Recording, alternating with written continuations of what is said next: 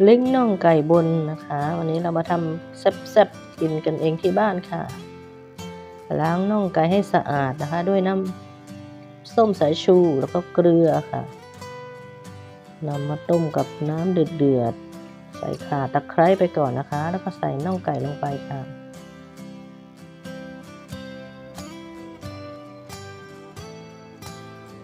ใช้เวลาต้มประมาณ 30-40 นาทีนะคะ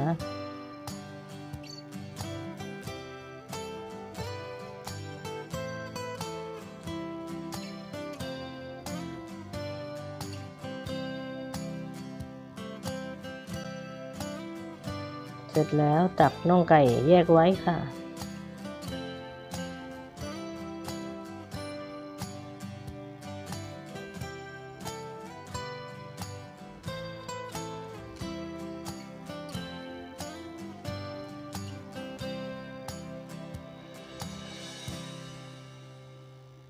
กล่องเอาแต่น้ำต้มไว้นะคะ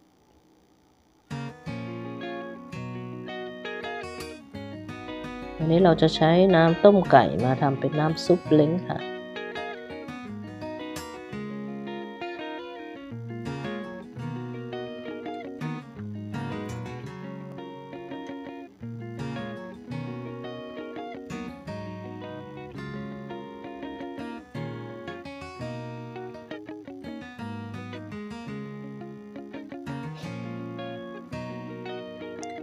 ใส่คานอรสไก่ลงไปหนึ่งก้อนค่ะบีบมะนาว ตามความชอบเลยนะคะ เปรี้ยวมากเปรี้ยวน้อยค่ะ เติมไปชิมรสไปค่ะผงชูรสสักครึ่งช้อนโต๊ะค่ะ ตามด้วยน้ำปลาค่ะ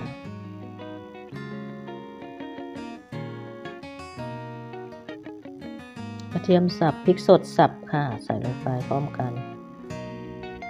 แล้วก็ผักชีฝรั่งแล้วก็ใบขึ้นช่ายนะคะ ผักชีไทยด้วยค่ะ ใส่ไปด้วยกันสามอย่างเลยค่ะนำน้ำซุปที่ปรุง จนแซ่บอร่อยถูกใจแล้วนะคะ ไปเทราดลงบนน่องไก่ที่เราต้มสุกแล้วค่ะ ลองไปทำกันดูนะคะ เล้งน่องไก่บนทำกันเองกินกันที่บ้าน